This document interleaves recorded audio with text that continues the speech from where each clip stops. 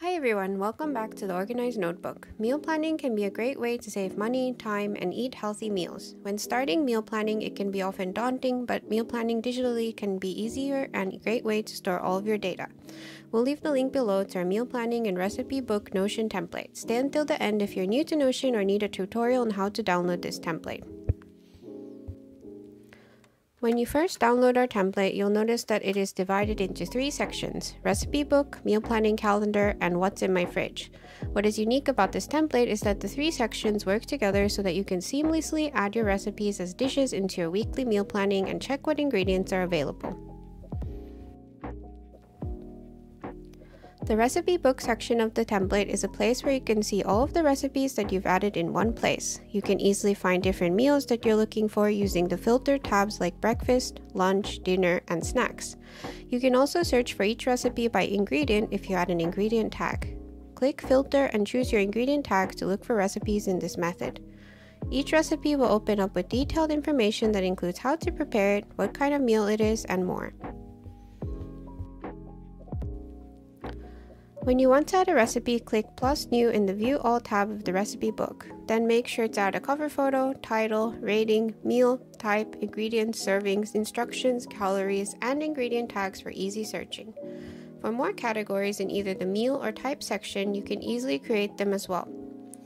If you want the ingredients to work seamlessly with the meal planning section, make sure that your ingredients are added with dashes. Make sure to use Shift Enter on the keyboard when adding each ingredient to keep the formatting for later. This helps with copy pasting into your shopping list.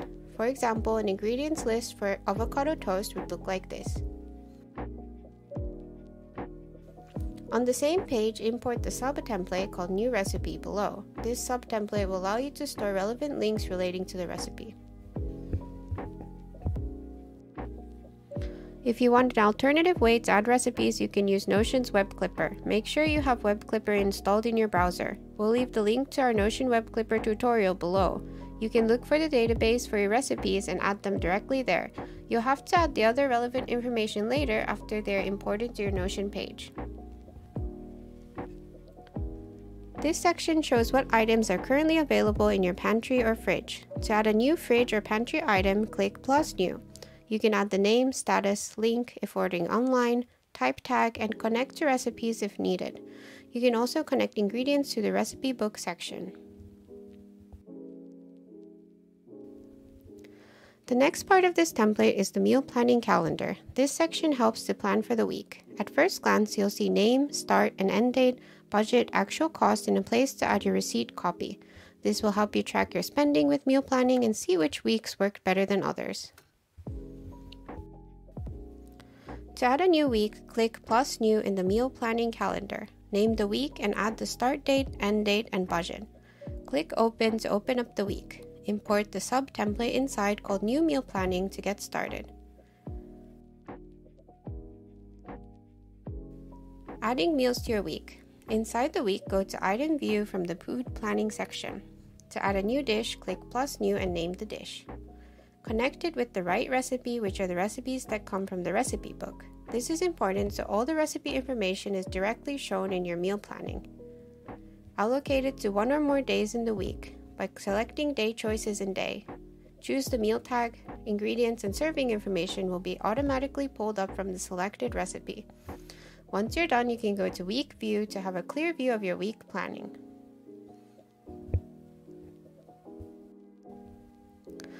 This is included so that you can easily see what is currently available while making your shopping list. If you need, you can also add your ingredients that you need to through this area by clicking New. Once you're done planning your week, you can make a shopping list to get all the items you need for the week. This is easy to do by copying the entire column of ingredients in the item view. Paste it into the shopping list section. Remove any unwanted ingredients or ingredients you already have by checking what's in my fridge. Once you make your list, you can convert them to to-do boxes so that you can use it as a shopping list. The last section is for you to write any notes down. This can include information like your reflection after planning the week. You can ask yourself what worked and what didn't work. It can also be a great place to note any outside meals you had or anything else you can think of related to your week of meal planning. To get started with using this recipe book and meal planning Notion template, you'll need a Notion account and download from our website through Gumroad. We'll provide the links below. Click the Gumroad button and fill in the information. Once it's filled in, you'll get redirected to the template. Click the Duplicate button. You'll need to either log into your Notion account or it may redirect you automatically.